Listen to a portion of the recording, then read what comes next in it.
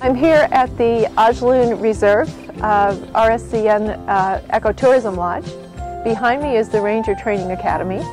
Uh, we decided to come up here to do our New Year's video because this is one of my favorite projects. It incorporates job creation with conservation and preservation of Jordan's natural resources.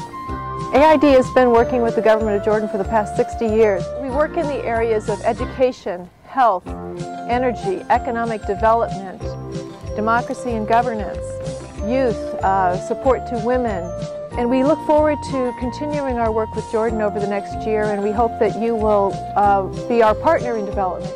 To learn more about the projects, please look at our website and also please like us on Facebook.